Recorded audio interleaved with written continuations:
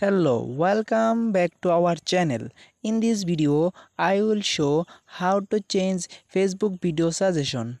So let's start the video. At first, you have to open your Facebook apps. And then click three dot menu on the corner. After that, scroll down and click videos on watch option and then scroll down and choose a video. Which type of video do you want to see on your suggestion page? Or which type video do you not want to show on your suggestion page? And then click three dot icon and then click show more or show less. If you want to watch like this video more and more then click show more.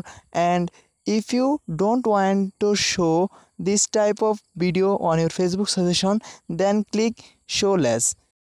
And that is how to change facebook video suggestion